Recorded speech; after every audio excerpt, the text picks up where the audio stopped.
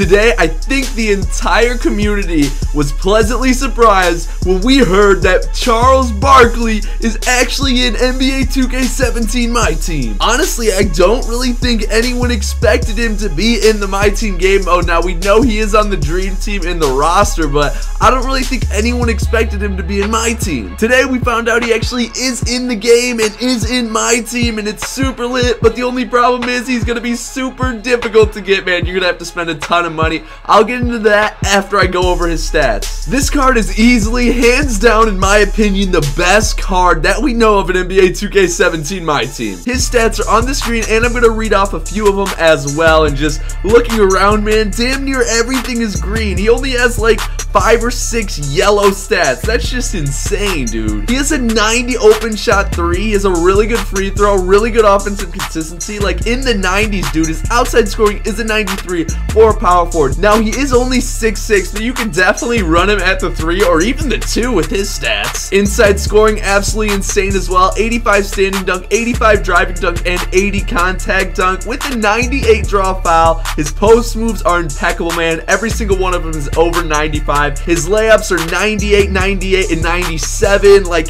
absolutely insane, man. And then for a power forward, looking at his playmaking, dude, 84 ball control, 75 passing accuracy, 75 passing vision, 85 passing IQ, and 79 speed with ball. All of those are absolutely amazing, especially for a power forward, dude. That's insane. He has an 88 speed and an 85 acceleration. That's awesome. 97 vertical, 97 strength, 98 stamina. That's insane as well. His defensive stats stats are pretty much all in the 90s, dude. Like, this card is absolutely insane. 98 for all three rebounding stats. He's equipped with three amethyst badges, 15 gold badges. Like, this card just looks like an absolute glitch, man. But the thing is, he's going to be damn near impossible to get. Like, I would love to say, oh, I'm definitely going to get this Charles Barkley. But for me to do that, I would have to spend a ton of money. So I'm going to go over how to get him now. And obviously, it's not easy, dude. Honestly, I don't think there's ever been a card harder to get in my team history. Alright, so as you can see today, 2K put out the Big Man Collection, and there's a lot of cards. There's actually three Amethyst cards in this collection, so it's going to be really, really hard to complete the collection,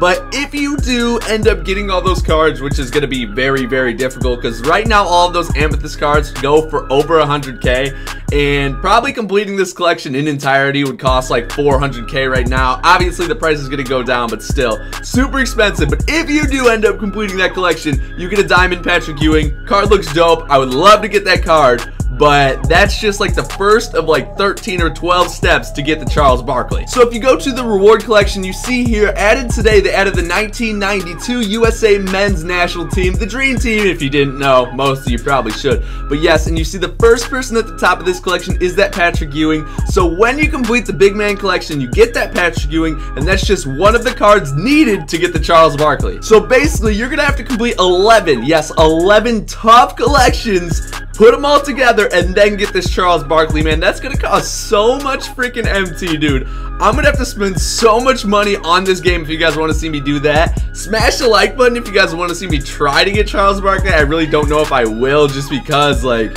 That's a lot of money. But yeah, I'm to try to get some gameplay with this card in the My Team Blacktop, so make sure to smash that like button if you want to see that. But yes, hopefully this video did help you out. Um, If you're to try to get Charles Barkley, best of luck. It's to be difficult, but I guess at the end of the day, if you really love the game and you if you really want to use him, it may be worth it just because this card is super crazy when it comes to the stats. But yeah, that is Charles Barkley. Hopefully you did enjoy. If you did, smash that like button. But I will see you guys in the next video.